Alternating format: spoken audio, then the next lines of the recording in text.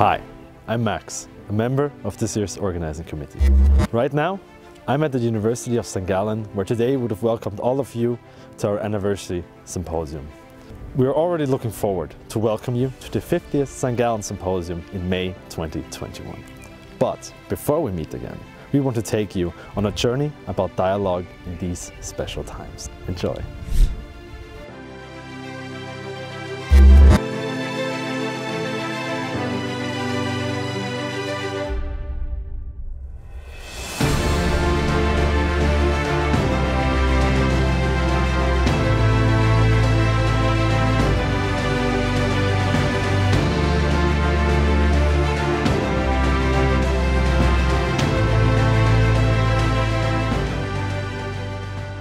Hi there, welcome to the virtual St. Gallen Symposium site. It is an honor to have Miss Karin Kellersutter joining us today, and I think she has a message for you. Ich würde ja gerne mit Ihnen in St. Gallen von Angesicht zu Angesicht sprechen. Das geht jetzt nicht und ich bedauere das sehr.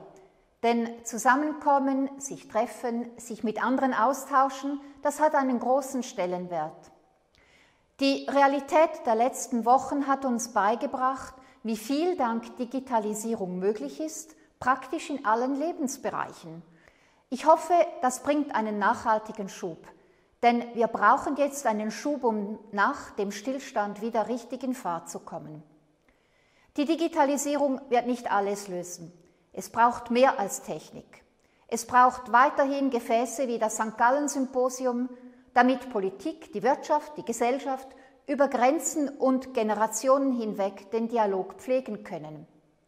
Ich freue mich, das im nächsten Jahr mit Ihnen in St. Gallen nachholen zu können. Thank you, Ms. Federal Councillor. We're really excited to welcome you next year. This was the first of several messages that we want to share with you today. Before we enter the site, let's check in at the welcome desk. Everything from setting up the venue, limousine service, or serving drinks is student run. Hi, if you need anything, just hit me up. Thanks, Leslie. Our 450 student volunteers really make the symposium unique.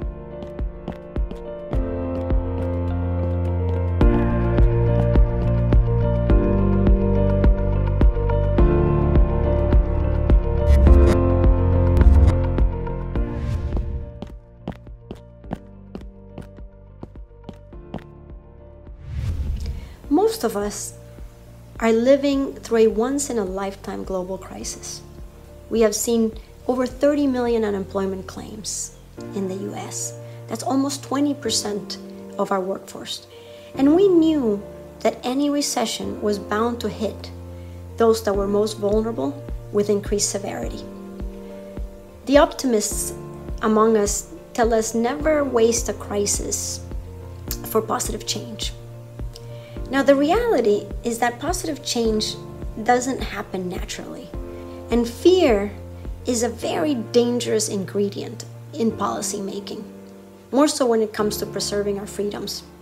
So, if we are going to make this a moment of coming together for positive change, then we're going to need to work together, to dialogue, to build consensus. And consensus comes when we put ourselves in each other's shoes. And that is what the St. Gallen Symposium has been about since its founding. So I look forward to seeing many of you in a year. And for all of us, we still have a lot of work to do. I'll have a beer as well, please. Oh, hi there. I'm just taking a break. Why don't you have a look inside?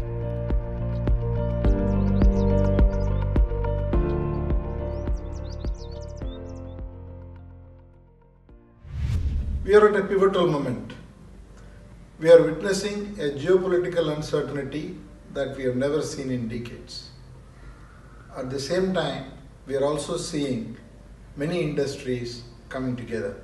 So, despite all the noise, I am confident that it will make way for a world that is more integrated and vibrant. But this needs to be shaped. Shaping this will require a new foundation to be built that is based on trust. But building trust is not about having legal contracts. We know that it is about doing right by others. We are trying to solve the 21st century problems with the 19th century apparatus. We need to build new systems. The new generation has to be brought together in order to dialogue better and prepare ourselves for the new age that we are about to enter.